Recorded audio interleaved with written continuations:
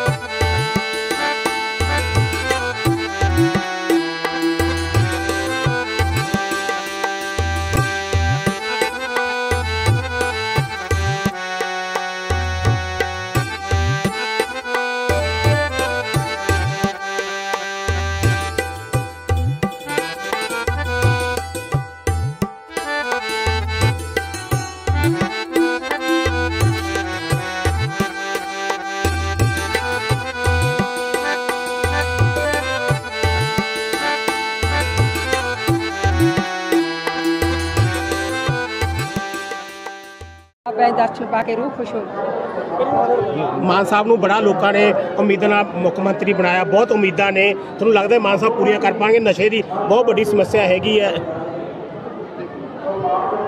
ਕੋਈ ਅਜੇ ਦਿਨ ਪੈਣ ਦਿਓ ਥੋੜੇ ਦਿਨ ਹੋਰ ਪੈਣ ਦਿਓ ਸਭ ਕੁਝ ਹੋ ਜੂ ਠੀਕ ਹੈ ਜੀ